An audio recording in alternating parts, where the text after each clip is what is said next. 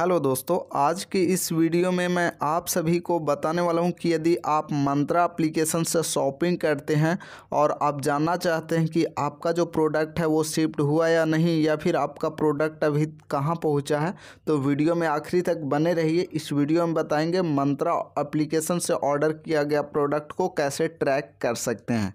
तो सबसे पहले मंत्रा एप्लीकेशन ओपन कर लिए हैं। ओपन करने के बाद कुछ इस प्रकार का इंटरफेस दिखाई देगा गाइज़ आपको नीचे में आपका नाम दिखेगा राइट साइड कॉर्नर में, उस पर क्लिक कर लीजिए। क्लिक करने के बाद कुछ इस प्रकार का इंटरफेस दिखाई देगा। यहाँ पर देख सकते हैं ऑर्डर्स का ऑप्शन दिखाई दे रहा है। यहाँ पर देखिए ऑर्डर्स वाले ऑप्शन पर क्लिक करेंगे। ऑर्डर्स वाले ऑप्शन पे जैसे ही क्लिक करेंगे तो जो जो प्रोडक्ट आपने ऑर्डर किया है, वो सारा प्रोडक्ट यहाँ पर दिखाई देगा। देख सकते हैं गाइज़ हमने एक शू ऑर्डर कर रखा है। देख सकते हैं, कल ही हमने ऑर्डर किया है, यानी बीस दिसंबर को। और हम इसे चाहते हैं कि ट्रैक करें कहाँ है ये प्रोडक्ट तो देख सकते हैं यहाँ पे ट्रैक का ऑप्शन दिखाई दे रहा है। ट्रैक पर आपको क्लिक करना है।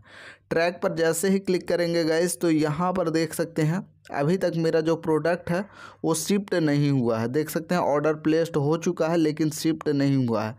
पंद्रह तारीख तक शिप शिपिंग का डेट है। पंद्रह तारीख तक शिफ्ट हो जाएगा ये प्रोडक्ट और हम तक बीस दिसंबर तक पहुँच जाएगा।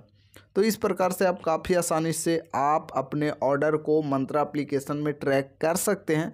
वीडियो कैसा लगा कमेंट में ज़रूर बताइएगा। वीडियो पसंद आया तो लाइक कीजिए, चैनल पे नए हैं तो सब्सक्राइब कीजिए।